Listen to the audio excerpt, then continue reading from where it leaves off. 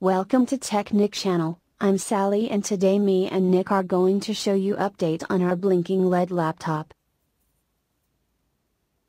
First pick a toothpick and try and see if charging port pin is loose. The power jack pin should remain stable and not exhibit heavy movement.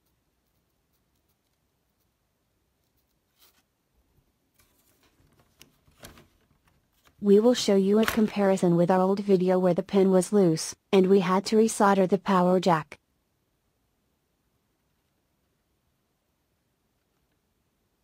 Saw how the pin wobbled in the lower video this was causing problems with laptop power and battery charging.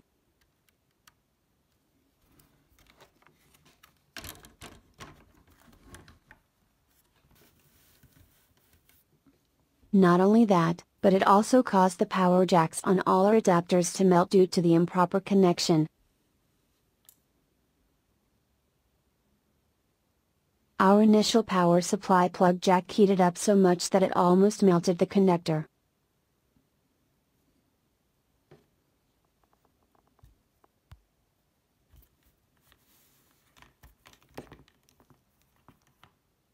Even our second connector that we replaced melted a bit during gaming or heavy use of the laptop.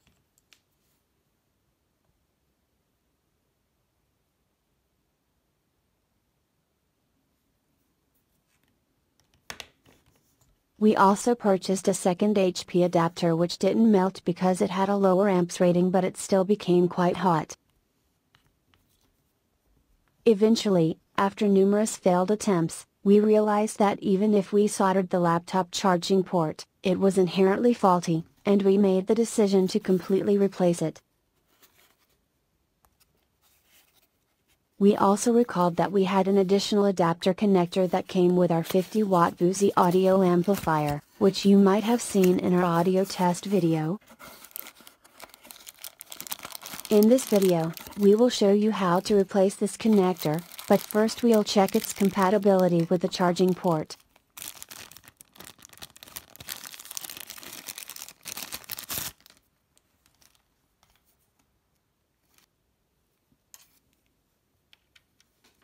This fits perfectly, so there shouldn't be any issues. However, it's important to note that this Chinese jack typically has lower quality compared to the original. This is for testing purposes to demonstrate how easily it can be replaced.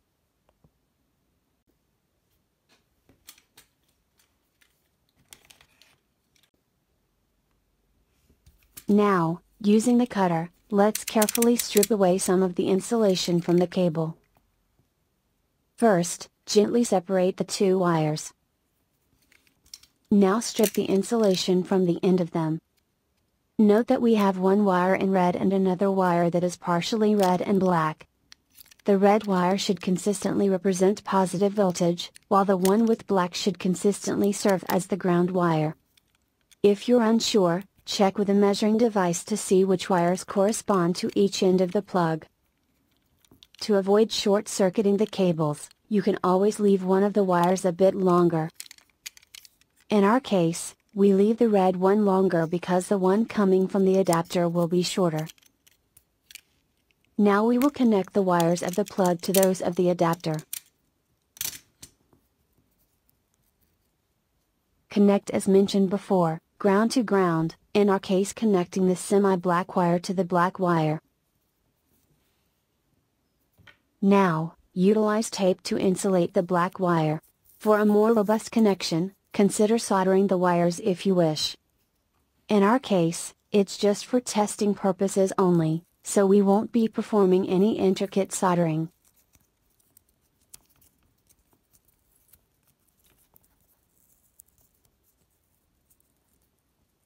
Now, we'll connect the red wire to the other red one, and then apply the remaining tape over the connection.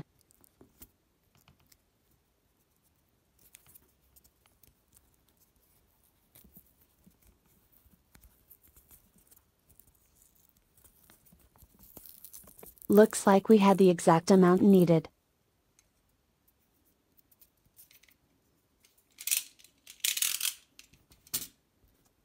Now that the old jack has been replaced, we are going to insert the new one into the laptop and see how it works.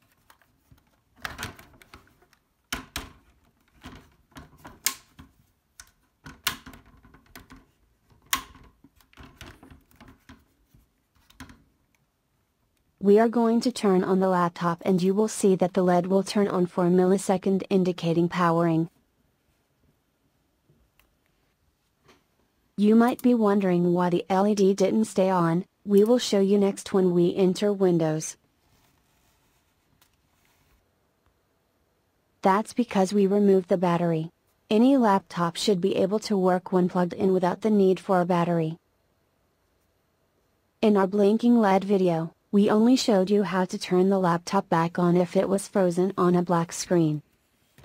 For many people, removing the battery, disconnecting the charging connector, and counting to 30 seconds while holding the power button worked. However, we've noticed in the comments that for a few, this method didn't resolve the issue. That's because in most of those cases, the charging port may have been damaged, and those laptops weren't receiving any power anymore. Now that we've inserted the battery, our LED indicator will stay orange, indicating charging, and will not blink. A steady LED light signifies that laptop is receiving power and is charging correctly. For those with laptops featuring non-removable batteries the alternative is removing the RAM, which entails disassembling the laptop. If this is challenging contacting a laptop service is the best solution. As previously noted, this method is effective for reviving laptops with blinking LEDs, but it only applies if the laptops can receive power or still have some battery remaining. We'd like to believe we've been able to help the majority of the 3 million viewers that watched our tutorial, and we express gratitude for all the likes, subscribes, and nice comments we've received. We're not the type to constantly ask for support, but it's important to share that Nik had a near fatal bike accident two years ago, a fact we've only mentioned on Facebook. We've enabled the Super Thanks function, and we want you to know,